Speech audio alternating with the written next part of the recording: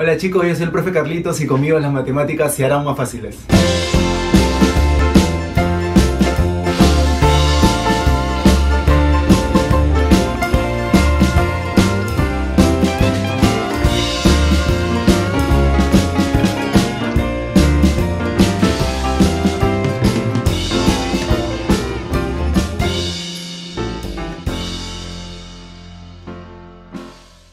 Bueno chicos, el día de hoy casi ya terminando lo que es inecuaciones, que ha sido un tema bastante largo, es, bastante amplio lo que se ve acá en esta parte de, de, inecuaciones. Vamos a ver lo que son las irracionales. Irracionales, sinónimo raíz, ¿ok? Siempre que veamos una raíz y dentro de ella una x, una variable en general, ¿ok? En el radicando vemos cualquier variable, pues estamos ante una inecuación irracional. ¿Cómo procede? Lo primero que hay que ver es las restricciones, el conjunto de valores admisibles, es decir, qué valores puede tomar x para que esa raíz sea posible de, efectuar. Entonces, la única condición que tenemos es la que está ahí en la pizarra. Cada vez que veamos un índice par, el radicando debe ser mayor o igual que cero. Eso es fijo, obligado. Es más, esto ya es conocido, ¿ok? ¿Qué pasos debemos de seguir? Básicamente son tres, ¿ok? Lo primero, encontrar el conjunto de valores admisibles. Y eso va a ocurrir siempre y cuando veamos índices pares. Si vemos impares, no hay conjunto de valores admisibles porque cualquier valor de x podría cumplir esa raíz, o sea, se podría efectuar esa raíz. Solamente para esta condición habría que hallar el CVA, el conjunto de valores admisibles.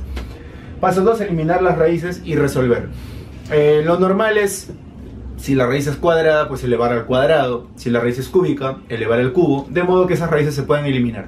Y luego la resolución es, como el tema anterior, una inecuación puede ser lineal, cuadrática, polinómica, dependiendo del grado que tengamos para nuestra variable.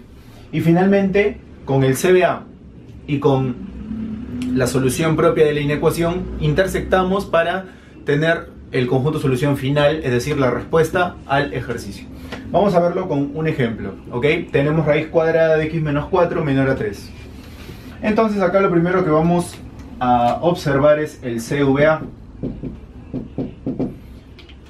¿Ok? Nuestro radicando x menos 4 está dentro de una raíz de índice par, es raíz cuadrada. Por ende debe ser mayor o igual a 0. Pasamos el menos 4 a sumar, x debe ser mayor o igual a 4. Este sería nuestro paso 1. ¿Cuál sería nuestro paso 2? Eliminar raíces y resolver. Entonces nuestro paso 2 vendría dado por lo siguiente. Ambos lados, ambos términos los vamos a elevar al cuadrado y tendríamos, bueno, acá se eliminaría el 2 con el índice 2, que no se ve, pero se asume raíz cuadrada ese índice 2. Nos quedaría el mismo x menos 4 menor que 3 al cuadrado, que es 9. El menos 4 pasa a sumar, x sería menor que 13. Y finalmente, como paso 3, tendríamos que intersectar ambos, ¿verdad? Entonces nos podemos apoyar de una recta. Para nuestro CVA tenemos que x debe ser mayor o igual a 4. Vamos a suponer que el 4 esté por acá. Lo pintamos porque dice igual. Pintado, se puede tomar el 4. Y se va hacia más infinito porque dice que es mayor. No hay ningún límite por derecho. En el caso de la resolución propia de la inecuación nos dice que x es menor a 3, entonces el 13 lo dibujamos por acá, menor, hacia la izquierda, se va hacia menos infinito. ¿Por qué no lo pintamos? Porque solamente dice menor, no dice menor igual, entonces no se pinta. Nuestra zona de intersección sería esta de acá, por la que pasan ambos, ambas soluciones, ¿ok? Entonces podríamos decir que x pertenece a 4 cerrado hasta 13 abierto. Este de acá sería nuestro conjunto solución para la inecuación irracional que nos habían presentado. Entonces, en todo hay que hacer esto, ¿ok? Seguir esos tres pasos. Conjunto de valores admisibles siempre y cuando tengamos una raíz de índice par. Luego, eh, eliminar las raíces para poder resolver la inecuación. Y finalmente, con ambos, intersectar y tener la respuesta a nuestro ejercicio. Muy bien, vamos a poner manos a la obra resolviendo estos ejercicios. Este se parece bastante al anterior, es por eso que lo he elegido para iniciar y poder captar mucho mejor la idea. Paso 1, conjunto de valores admisibles. Es decir, mi x menos 2 radicando está dentro de una raíz de índice par, debe ser mayor o igual a 0, o sea, x debe ser mayor o igual a 2. Paso número 2, ambas partes, la raíz de x menos 2 y el 5, como tenemos una raíz cuadrada, conviene que ambos lados se eleven al cuadrado para que se pueda eliminar. Eliminaría este 2 y este 2. Me quedaría que x menos 2 es mayor o igual que 25. Es decir, que x es mayor o igual, el menos 2 pasa a sumar a 27. Paso 3, intersectar. Entonces vamos a apoyarnos de una recta. X es mayor o igual a 2. Por acá estaría el 2 se va a más infinito. X es mayor o igual a 27. También se va hacia más infinito y mi intersección sería esta. Por ahí pasan los dos intervalos. Entonces yo podría decir que X pertenece a cerrado 27 hasta más infinito y este sería mi conjunto solución para el ejercicio 1. Muy bien, en el problema 2 nos están pidiendo resolver esta inecuación igualito, ¿ya? Paso 1, conjunto de valores admisibles. 25 menos x al cuadrado es el radicando, debe ser mayor o igual a 0 porque está dentro de una raíz cuadrada. Eh, bueno, vamos a hacer lo siguiente, ¿ok? Voy a pasarlo todo al lado derecho.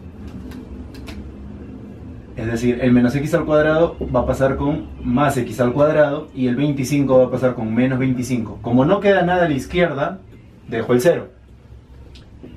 Entonces, esto se puede factorizar, x menos 5 por x más 5.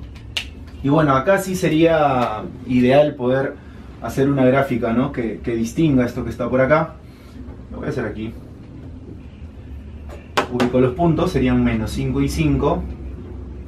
Eh, igual, así que son cerrados. De derecha a izquierda, más, menos, más como es mayor, perdón, como la expresión es menor a cero, entonces sería el espacio negativo. Este sería mi conjunto de valores admisibles, de menos 5 cerrado a 5 cerrado. Paso 2, resolver la inecuación. Como es una raíz cuadrada, igual que en el anterior, ambos lados se tendrían que elevar al cuadrado. Entonces acá se eliminaría la raíz me quedaría 25 menos x al cuadrado es menor o igual a 16. Igual, todo para el lado derecho, ¿ok? El menos x al cuadrado va a pasar con más x al cuadrado. Y este más 25 va a pasar a restar. 16 menos 25 es menos 9. Como no queda nada en este lado, dejamos el 0. Y lo mismo, esto es factorizable. Es una diferencia de cuadrados, x menos 3 por x más 3 lo propio sería ideal acá graficarlo, ¿no? Menos 3, 3. Como está el igual sería cerrado. De derecha a izquierda, más, menos, más. Toda esta expresión es mayor a 0, entonces tomo los positivos. ¿Ok? Esa sería mi solución de, de la inecuación. ¿Ok? Pero sabemos que en el paso 3 tenemos que intersectar ambos resultados. Entonces, ya no voy a poner el más, menos, más, porque eso me confundiría un poco, ya que esto se va a intersectar. Simplemente vamos a copiar las soluciones, ¿ok? Los valores que he usado son menos 5, menos 3, 3 y 5. En el caso del 5 va de menos 5 cerrado hasta 5 cerrado, es decir, de esta forma. Y en el caso del menos 3, acá, ¿no? De menos infinito y acá se va a más infinito. Más infinito, acá menos infinito. Observamos que las zonas que coinciden, ¿no? que se repiten, son estas que están por acá. Inclusive si quiero me puedo ir por arriba, porque igual es, es lo mismo. Por ende, mi conjunto solución final de mi inecuación sería de cerrado menos 5 a cerrado menos 3, unión 3 cerrado a 5 cerrado. Y esta sería la respuesta para mi inecuación número 2. Muy bien, y los ejercicios 3 y 4 los estoy poniendo juntos porque quiero eh, que se entienda algo, ¿ok? Por condición, siempre una raíz cuadrada va a ser mayor o igual a 0, ¿ok? Es más, muchos se equivocan y dicen, ¿no? ¿cuál es la raíz cuadrada de 9? Y ponen más menos 3. No, por propiedad, la raíz cuadrada, vamos a ponerlo así ya, la raíz cuadrada de x al cuadrado es valor absoluto de x. De modo que sea la raíz de 3 al cuadrado o sea la raíz de menos 3 al cuadrado, cualquiera de los dos, valor absoluto de 3, 3, valor absoluto de menos 3 también sería 3, siempre va a ser positivo. En el único caso que sería 0 sería la raíz de 0, ¿no? Que es 0. Pero eso entonces es por condición, una raíz cuadrada siempre es mayor o igual que 0, no puede ser negativa. No confundan, por favor, con una ecuación cuadrática, que te pongan x al cuadrado es igual a 9. Ahí sí x puede ser más menos 3. Porque al ser cuadrática tiene dos valores. Bueno, dos soluciones, ¿ok?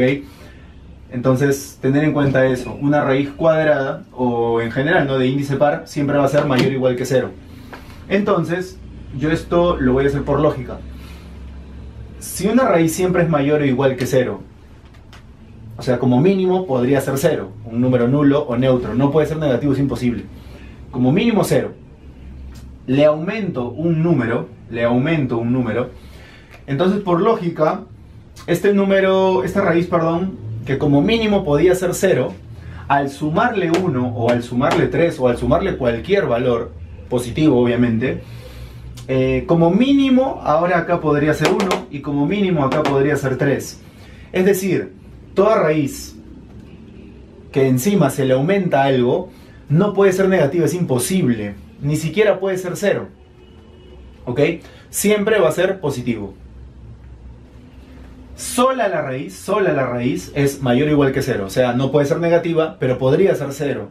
Pero al aumentarle una cantidad positiva, ya esta expresión englobada no puede ser negativa y tampoco puede ser cero. Siempre va a ser positiva. ¿Ok? Es algo parecido a lo que pasa cuando tienes un número elevado al cuadrado. También es mayor o igual que cero. Y si encima le aumentas algo, ah, entonces todo esto siempre va a ser positivo. Algo parecido. ¿Ok? Entonces, habiendo dicho eso, podríamos decir que una raíz más 1, obviamente siempre va a ser mayor que 0 porque siempre va a ser positivo. Entonces, esto es algo obvio. Yo pondría conjunto solución todos los reales, porque esto siempre va a ocurrir. Sin embargo, esa sería la solución de la inecuación, el paso 2. Pero nos estamos, estamos obviando el paso 1. ¿Cuál sería acá mi paso 1? Exacto, el radicando debe ser mayor o igual que 0, es decir, x debe ser menor o igual que 3. En el paso 2 ya dijimos, esto es algo obvio, así que serían todos los reales. Y en el paso 3 que hay que intersectar, alguien dirá, ¿y cómo represento todos los reales? Todos los reales es toda la recta, pues, ¿no? Entonces simplemente me quedo con el de acá. X es menor o igual que 3.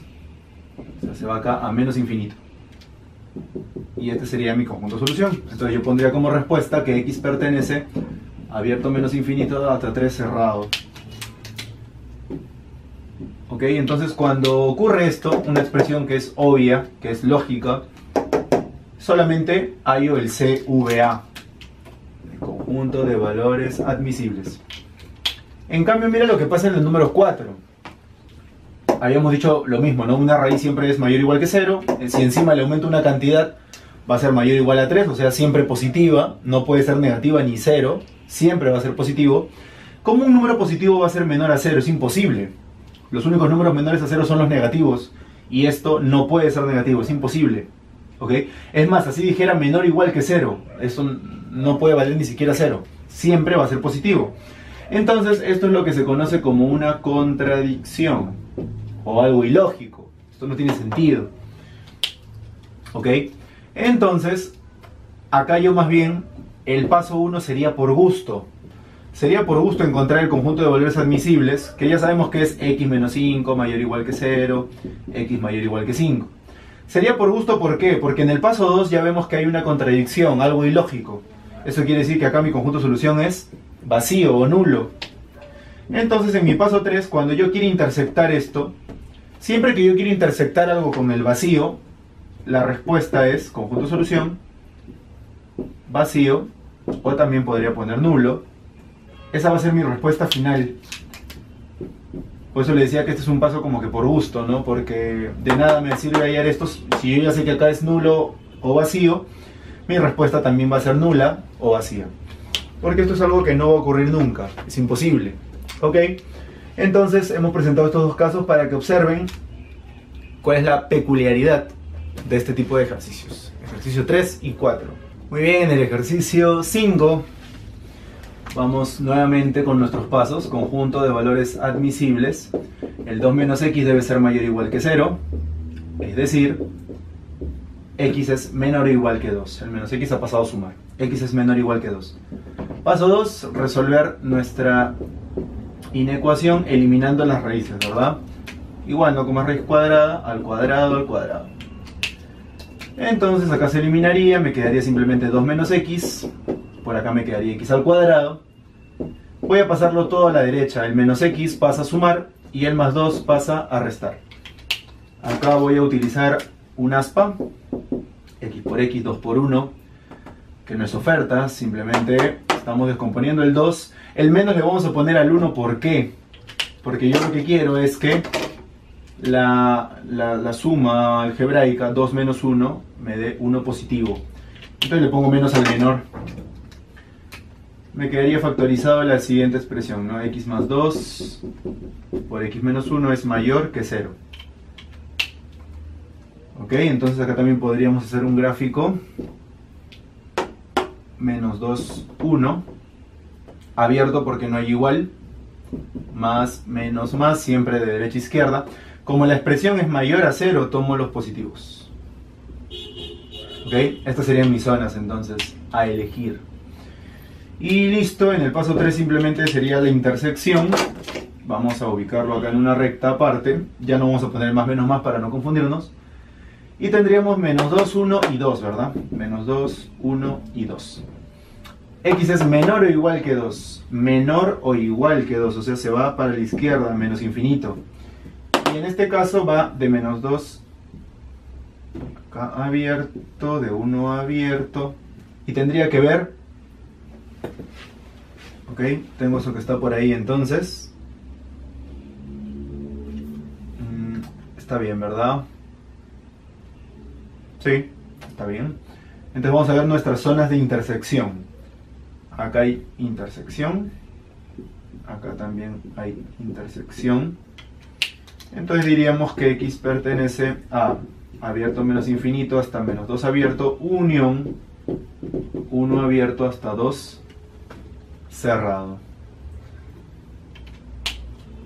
Ok, este sería entonces mi conjunto solución para mi problema número 5. Muy bien chicos, fe de ratas, acá eh, no hemos considerado algo importante que, nos faltó este, mencionar, que es lo siguiente. Eh, habíamos dicho que una raíz debe ser siempre mayor o igual que cero. Y acá nos dicen que esta raíz es menor a x. Entonces, no tendría sentido que mi x tome valores negativos, porque como una raíz que siempre es mayor o igual que cero va a ser menor a un número negativo. ¿No? No tiene sentido. Entonces acá yo tendría que añadir que este x debe ser positivo. ¿Ok? mi x tiene que ser positivo. Por lo tanto, acá nos estaría faltando, vamos a ponerlo así ya, un, extra que sería x mayor a 0, que estaría por acá. Entonces la intersección entre los tres intervalos sería esta. Esta ya no contaría. Por lo tanto, vamos a borrar acá Menos mal me di cuenta antes de borrar, porque si no... Este sería mi conjunto de solución entonces, desde 1 abierto hasta 2 cerrado. Repito, eso es básicamente por lo que estábamos explicando. No tendría sentido poner la zona negativa y decir que una raíz es menor que un número negativo. No, es imposible, eso, eso no, no puede pasar, sería algo ilógico. Entonces, esta sería la zona final con la que yo estaría trabajando, ¿no? con la que me voy a quedar, desde uno abierto hasta dos cerrado. Esa sería la respuesta al ejercicio 5, ahora sí. Muy bien, y ahora sí en el ejercicio 6 tenemos dos raíces en ambos lados, pero vamos a ver qué es lo mismo, ¿ok? En el 1 conjunto de valores admisibles, observamos que x menos 4 mayor o igual a 0, x menos 1 también debe ser mayor o igual a 0, en el primero obtenemos que x debe ser mayor o igual a 4, y en el otro que x debe ser mayor o igual a 1. ¿Con cuál nos quedamos de los dos? O normalmente nos piden que escojamos pues este... Bueno, normalmente no, siempre nos van a pedir la intersección, ¿ok? Pero para que digamos, si, si uno quisiera ganar tiempo y no estar hallando ambos y no solamente elegir uno de frente, podríamos decir que siempre hay que trabajar con el factor más pequeño, que en este caso entre x menos 4 y x menos 1 es x menos 4. Por ende nos quedaríamos con esto, x mayor o igual a 4, y lo estamos demostrando acá en el gráfico. Observamos que la intersección es esta, ¿no? De 4 a más infinito. ¿Ok? Ese sería el paso 1. En cuanto al paso 2, observamos lo siguiente. Si yo elevo ambos lados al cuadrado para poder eliminar mis, mis raíces, observo lo siguiente. Se va, se va. x menos 4 menor o igual a x menos 1. Observo que las x se van a eliminar. Y me va a quedar que menos 4 es menor o igual a menos 1. Siempre que me quedan solamente valores numéricos, ya no me quedan las variables, tengo que analizar esto. Si es algo ilógico, mi conjunto de solución es vacío. Si es algo correcto, cierto, mi conjunto de soluciones serán todos los reales. Y acá observamos que esto es algo lógico, ¿no? Es algo correcto. Menos 4 es menor o igual que menos 1. Bueno, el igual un poco como que hace dudar a veces, pero cuando tenemos menor o igual es menor o igual. O sea, cualquiera de los dos.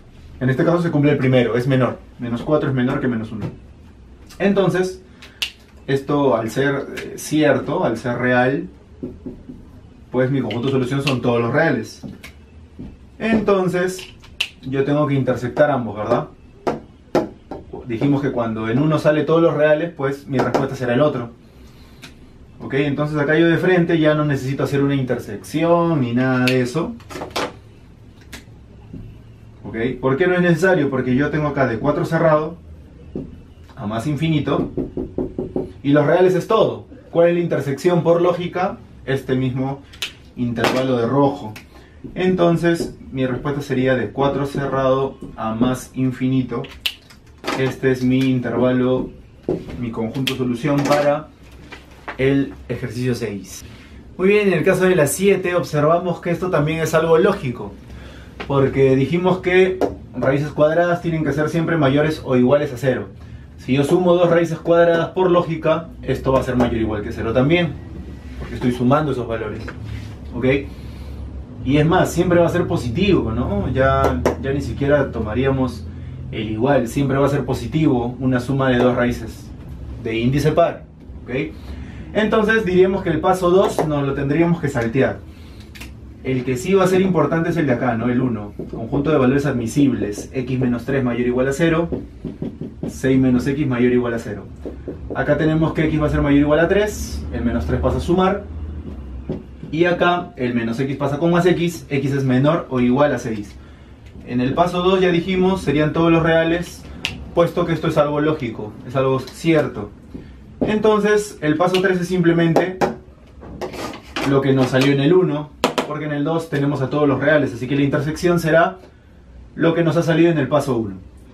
Entonces lo vamos a dibujar. Tengo el 3 y el 6.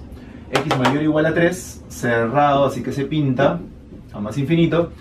x menor o igual a 6, cerrado porque está el igual y se va para menos infinito. Mi intersección sería desde el 3 cerrado hasta el 6 cerrado. Ok. Y este sería mi, mi respuesta, conjunto de solución al ejercicio 7. Muy bien, llegando al final alguien se preguntará, ¿y qué hacemos con los impares? Bueno, los impares es mucho más práctico porque al no tener CVA, o mejor dicho, al ser su CVA todos los reales, porque no va a haber ningún tipo de restricción con los impares, pues simplemente hay que resolver la inecuación y punto. Eliminar raíces, resolvemos y esa es nuestra respuesta, ¿ok? Entonces acá de frente ya no hay paso 1, paso 2, nada de frente, elevamos en este caso al cubo para que se puedan eliminar, me quedaría que x menos 11 es menor o igual menos elevado a exponente impar menos 2 al cubo, 8. Este menos 11 pasaría a sumar, menos 8 más 11 es 3.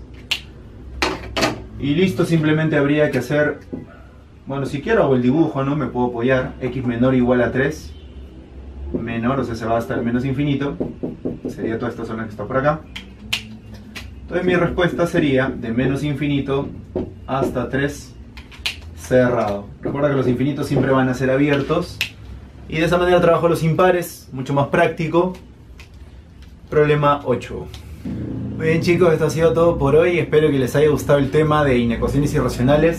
Ahora lo que hemos visto es un puchito, es lo básico, lo elemental. Practiquen, repasen, eh, busquen ejercicios un poco más largos, un poco más complicados. Eh, vamos a utilizar lo que es binomio al cuadrado, lo que es binomio al cubo. Así que atentos con los productos notables. Eso se va a requerir mucho en la mayoría de ejercicios de este tipo. Eh, y nada, este, si les gustó denle like, compártanlo con sus amigos, sus familias, aquellos que creen ustedes que lo puedan necesitar. Este, dejen sus, comentarios, sugerencias, pedidos, ¿ok? Estamos, como les dije, subiendo un, un video por semana por la limitación de tiempo, pero eh, ahora que estamos de vacaciones trataremos de poder subir un poco más de videos y que de ese modo ustedes puedan ir eh, avanzando ¿no? con, con, el desarrollo del curso. Un saludo muy grande a la promoción Alesus, la promo 2020 del próximo año del Colegio Los Robles, mi salón de tutoría, este, que bueno, seguro nos estaremos viendo ahora en las vacaciones para, para ir a ver una película, para ir a comer o qué sé yo, aprovechar las vacaciones como, como se debe. Así que en general también un saludo grande a, todo el Colegio Los Robles. Me pidieron saludos mis alumnos Enrique Jo, eh, Alejandro Medina, Giacomo Bermúdez. Ok, me han estado pidiendo saludos, así que les hago presentes desde acá. Eh, suscríbanse si es que aún no lo han hecho, sigan apoyando al canal que estamos tratando de, de dejar algo importante, algo que les sirva, Así que apóyennos y nada, estaremos, estaremos encontrándonos en el siguiente video.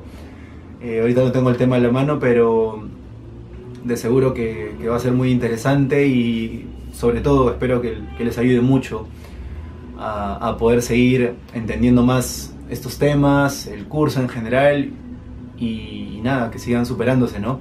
Les deseo una excelente semana, excelentes vacaciones a todos aquellos que salen ya y conmigo será hasta la próxima. Bendiciones a todos. Chao.